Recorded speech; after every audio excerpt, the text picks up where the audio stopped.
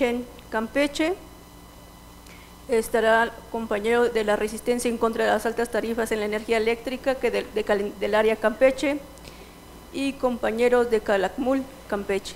Les dejo la palabra.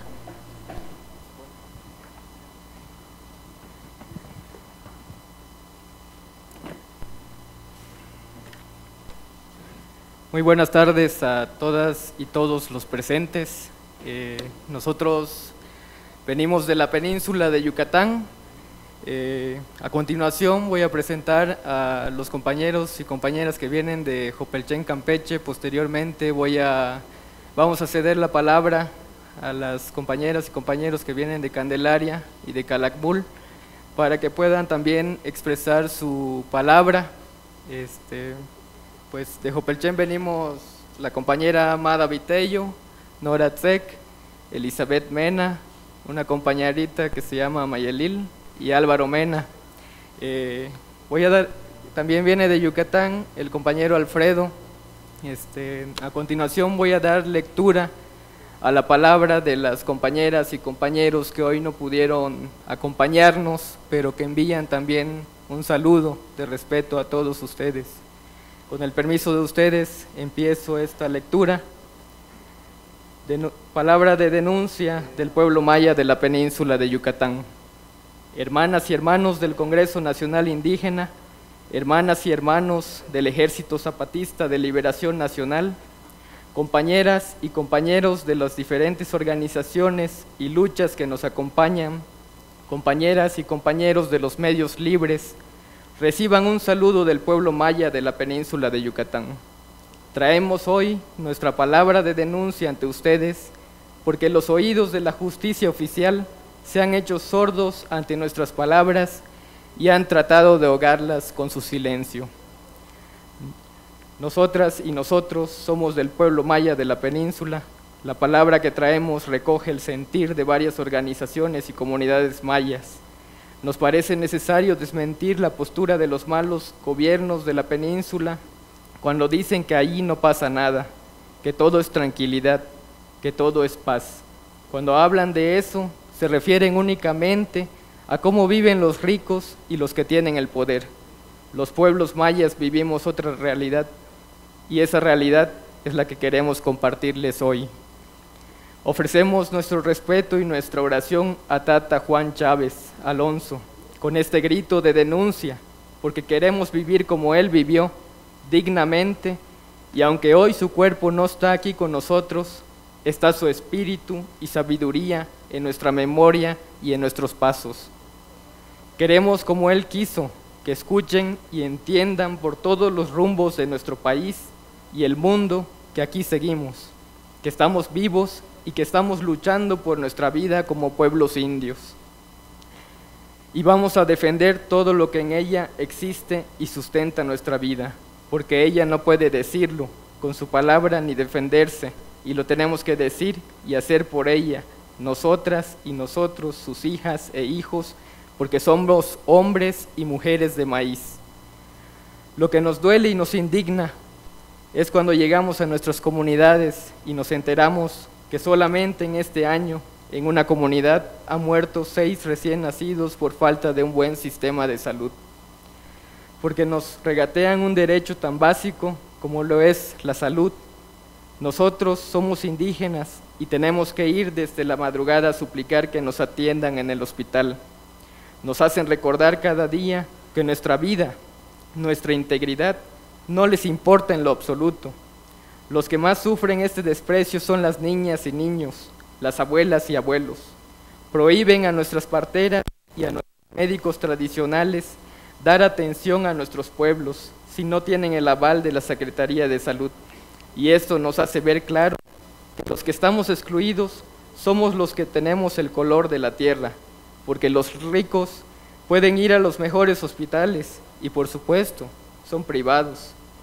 En la educación a nuestras hijas e hijos les obligan a dejar nuestra lengua, les enseñan inglés y otras lenguas ajenas a la nuestra, les obligan a despreciar los conocimientos de las abuelas y los abuelos, es decir, destruyen el tierno corazón maya, disfrazan su limosna educativa llamándole intercultural.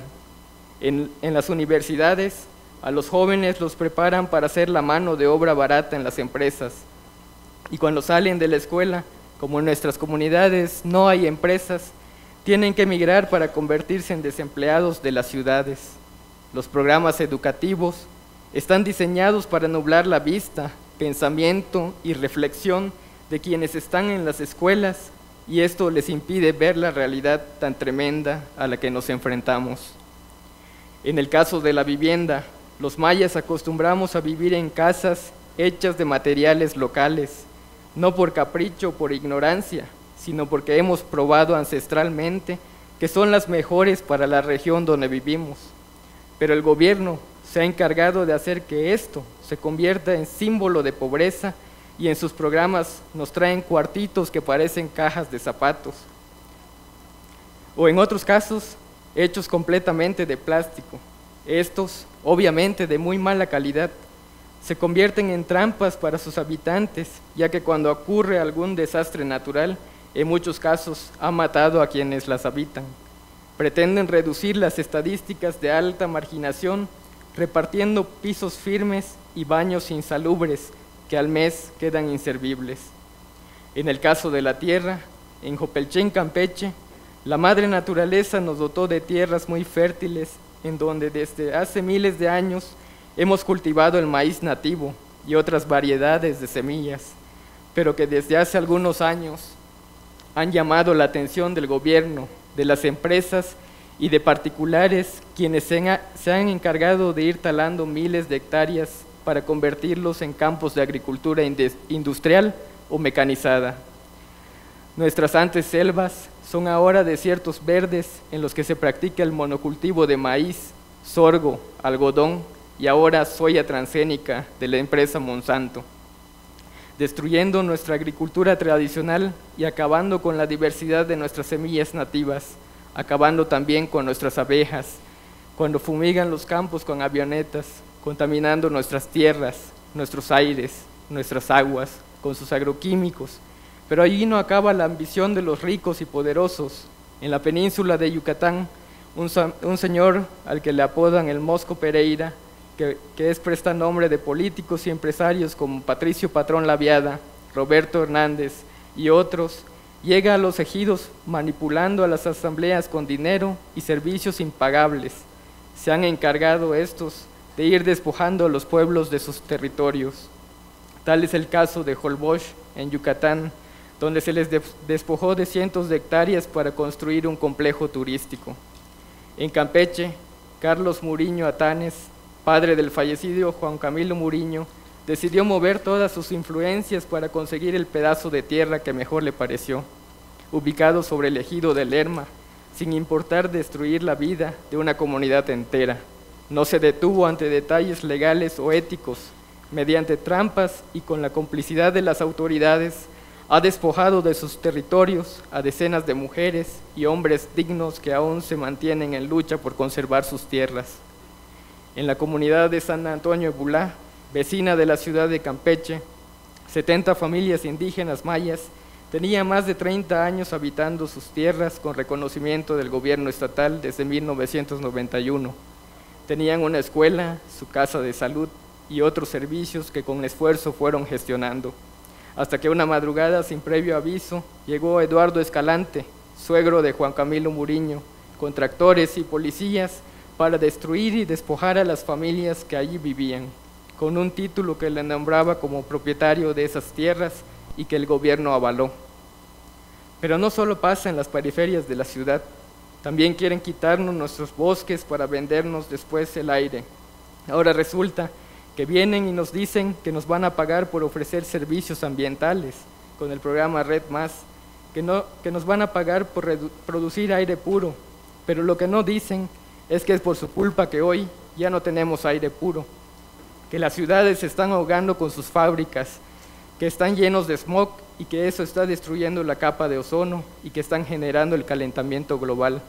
No, dicen que van a hacer negocio con el aire puro de nuestro territorio, que van a comprar y vender el permiso para contaminar y que van a respirar lo que los que puedan pagar.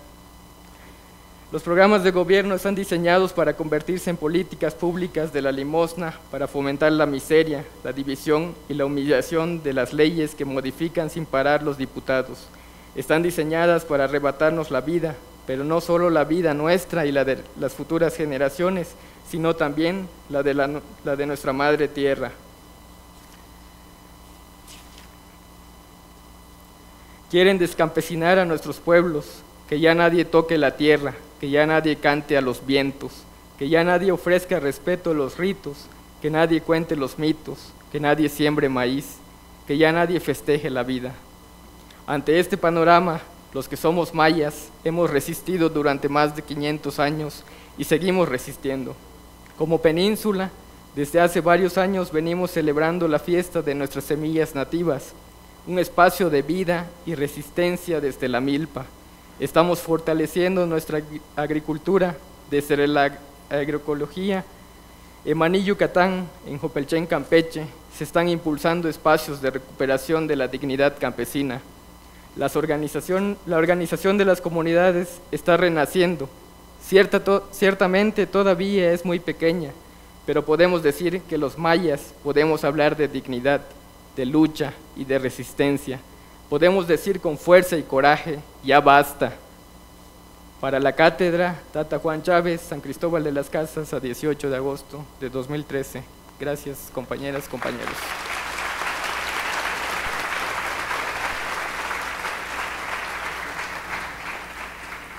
Gracias. Le pasamos el micrófono al compañero Resistencia en contra de las altas tarifas de la energía eléctrica de Candelaria, Campeche.